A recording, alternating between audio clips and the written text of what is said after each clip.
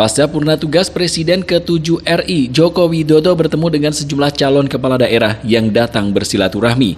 Seperti halnya pasangan calon Respati Astrid yang bertemu di kediaman Jokowi, Kelurahan Sumber, Kecamatan Banjarsari, Kota Solo.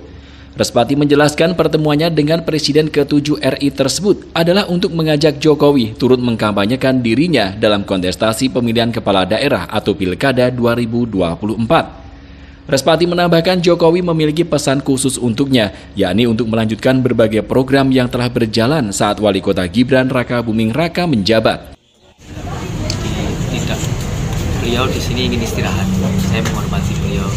Beliau ingin istirahat dan beliau menitipkan pesan kepada saya program-program ini dilanjutkan, Solo tetap ramai, bisa mendunia, menjaga iklim investasi dan lain-lain. Pesan-pesannya sudah tersampaikan dan yang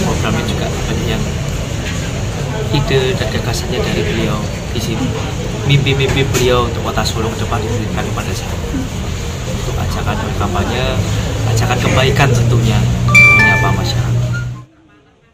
Pasangan nomor urut 2 ini menegaskan pesan-pesan dan gagasan Jokowi dalam pembangunan kota Solo akan dituangkan dalam visi misi kepemimpinannya kelak jika terpilih menjadi pasangan wali kota dan wakil wali kota Solo.